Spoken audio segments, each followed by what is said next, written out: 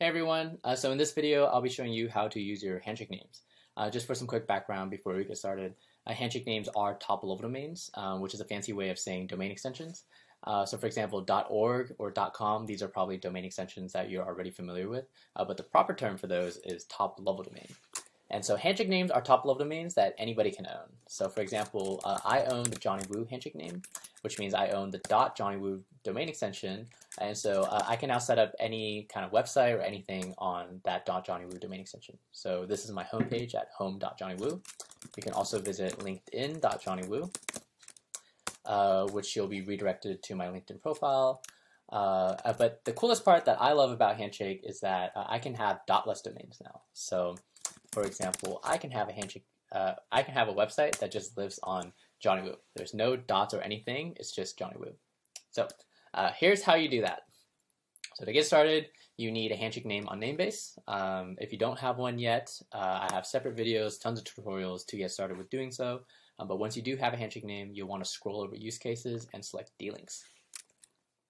So let's create a new D-Link. I also own the name Namer Community. We'll set this up at dlink.namercommunity. Uh, Namebase logo, namer community. Let me get this out of the way. Uh, home. I have our landing page memorized, and we'll go black. Cool. While this is generating for some context here, uh, this website uh, is going to live on Skynet, which is a blockchain, a decentralized blockchain uh, file storage service. Uh, but it will be accessible via your handshake name. So you'll use uh, your handshake name, which is also decentralized, to visit your website that lives on the decentralized uh, Skynet blockchain. So the entire stack is fully decentralized. Uh, just like that, no code solution for a fully decentralized website. Cool. So um, let's visit what we just set up, dlink.namercommunity. Bam. And it resolves. Cool. So redirects. Uh, this is what LinkedIn.johnnywoo was. That was a redirect. We'll go to a Namer Community. This time I'll have the dotless domain Namer Community uh, to redirect to uh, our landing page. Cool. Um, redirects are nice because you can use these uh, as uh, a URL shortener. So um, this right here is a Google spreadsheet, which is just a ridiculous URL that no uh, human is ever going to memorize. Well, maybe maybe some crazy ones, um, but uh, you can uh, turn this insane URL into a human readable one with uh, the redirects. So if you're already familiar with a service like Bitly, this is basically just Bitly supercharged uh, because you don't need bit.ly slash and then some name to do the URL shortening. you can just have any name redirect to any URL. So namer community redirects to community.namebase.io Those are our community landing page. Um, so one more uh, use case that I want to uh, showcase, um, which we actually just launched recently, is Namer News. So this is just a uh, regular forum. There's nothing special about this forum at all. Uh, we use uh, some open source code to put this together. Um, but this forum was built to highlight uh, one use case is handshake logins. So I'm going to use JWoo for this. JWoo is another handshake name that I own and I'm now logged into Namer News as JWoo. So uh, every username username you see here uh, is actually just somebody's handshake name that they use to uh, log into the forum. Um, and okay, so there is one special uh, tweak to this forum um, is that it uh, it will detect whether or not your handshake name resolves, um, which is a fancy way of saying uh, does it do something.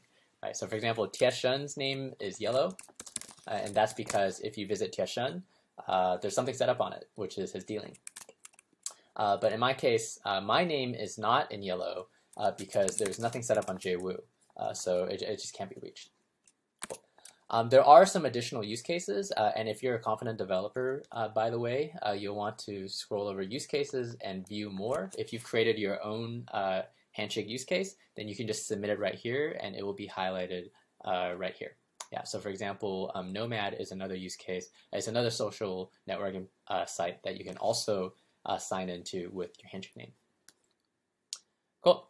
Um, so if you're if you're the pro- proactive uh, listener, then you probably already tried searching for something like Johnny uh, LinkedIn.JohnnyWoo or Home.JohnnyWoo during this video, and you'll probably realize that uh, you're not uh, reaching this page. Um, it doesn't actually take you anywhere, and that's because Handshake names live on the Handshake blockchain, uh, which most browsers don't know how to actually access. So you have to tweak it or do something to tell your browser how to actually get there.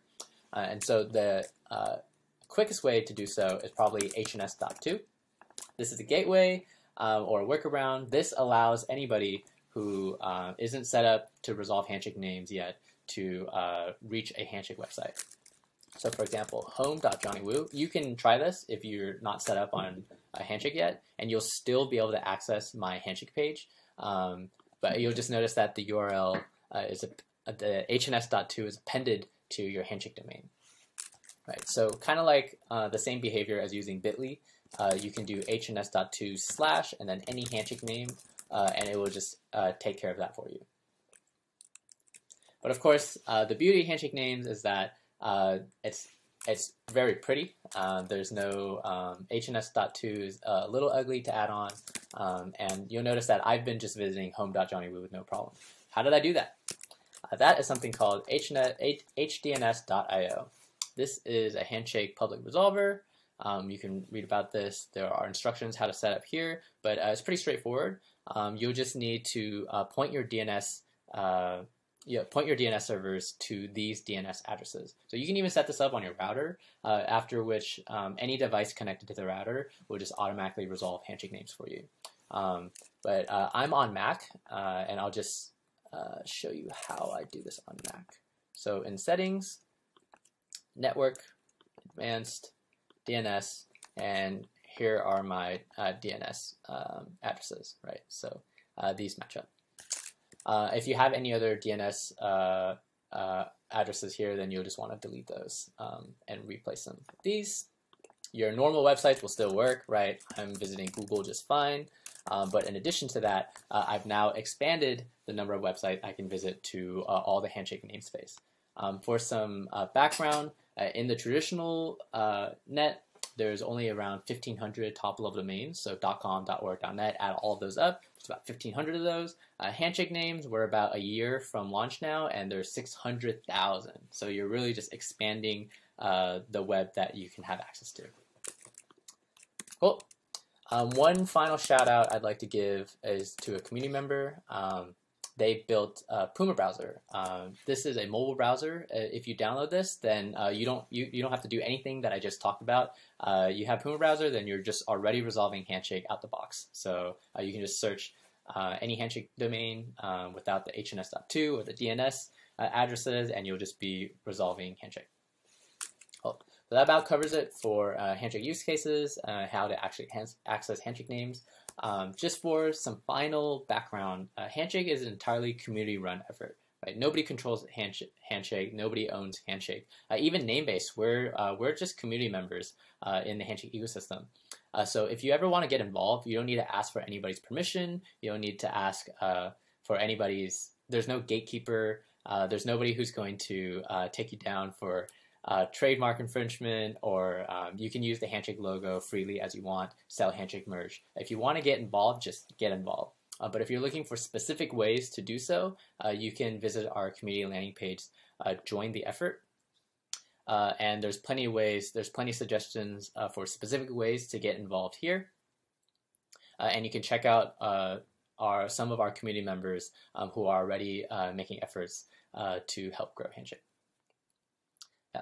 Uh, one final thing is name gifting. Uh, name gifting is a great way to help outreach. You don't have to own names just to participate in name gifting. Uh, these are all names that have been uh, listed uh, to gift to um, the party.